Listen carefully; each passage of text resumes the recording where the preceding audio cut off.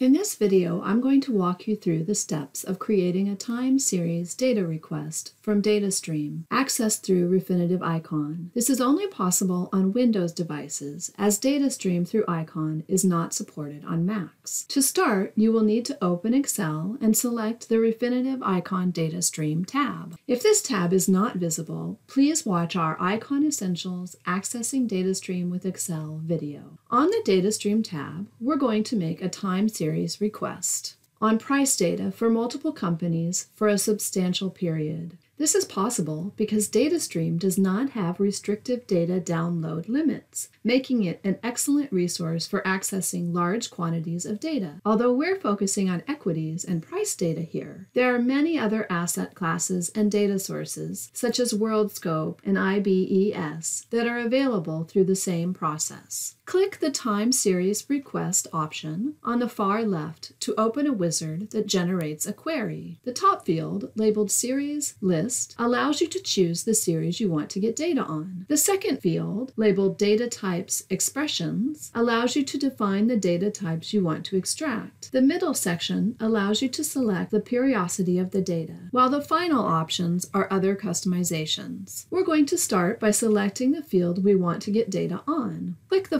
Find Series button to the right of the Series List field to bring up the navigator. When this opens, don't be alarmed if this screen looks different from this example. The product remembers what the last person searched for and will default to that view. To start fresh, simply click the Clear All option at the top left side. Once the defaults are cleared, select the Choose a Single Category link to open your category options. I'm going to search for equities, but you can use this to select other assets asset classes, such as bond indices or commodities. By selecting equities, I open a list of companies. Each page contains 15 companies, with the first page showing the largest companies by market cap. If you want to select one company, you can click on the ticker symbol, which automatically adds it to the search wizard. However, I want to select multiple well-known tech companies. Because I want to search a range of companies, I'm going to use the checkbox to select companies. Apple, Microsoft, and Alphabet. As I select companies, they are added to the My Selections field in the top right, which displays the number of items I've selected. Rather than scrolling through pages of company names, if you want to find a specific company, you can search for it using the search bar. For example, if you want to add IBM, type that into the search bar and click the search button. If you want to, you can select all the listed items on a page by clicking the check mark box next to Use. This will select all the options on the page. Although this defaults to 15 items per page, you can use the Show All command to open all the options that fit your search criteria. This is only possible if the number of search results is small enough. If it is too large, you will need to page through one by one. From this list, I only want IBM. Once you've selected the options you want, open the My Selections. You will see that all the items you've selected appear. In the lower right corner of the drop-down box, you will see a Return All Selections link.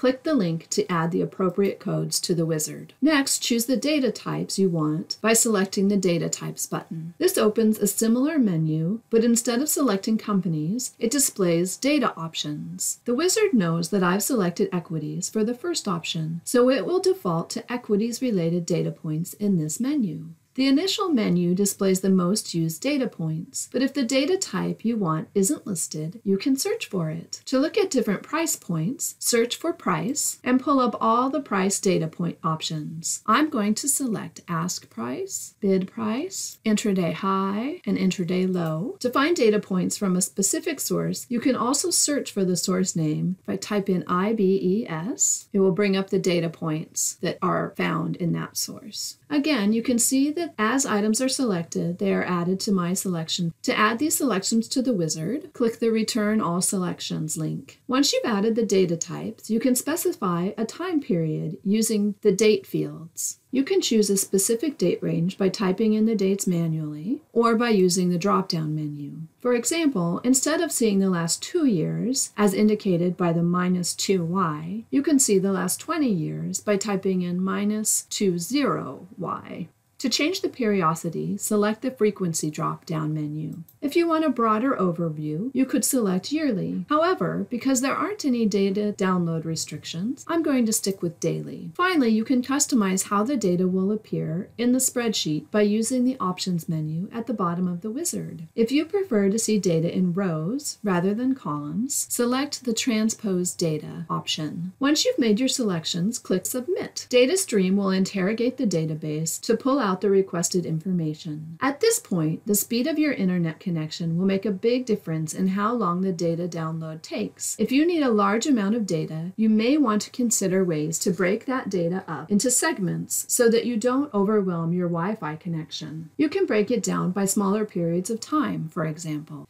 Once DataStream has completed the process, you end up with a clear chart of data. If you are interested in what the code looks like for the request, click on the field with the small red triangle. Here you can view the code in case you want to adapt it in some way. For example, if I wanted to look at Amazon instead of Alphabet, I could replace Google's ticker with Amazon's ticker instead. DataStream will then automatically update the spreadsheet. Thank you for watching. Further support is available via the Help menu on the DataStream tab or by speaking to one of the library team.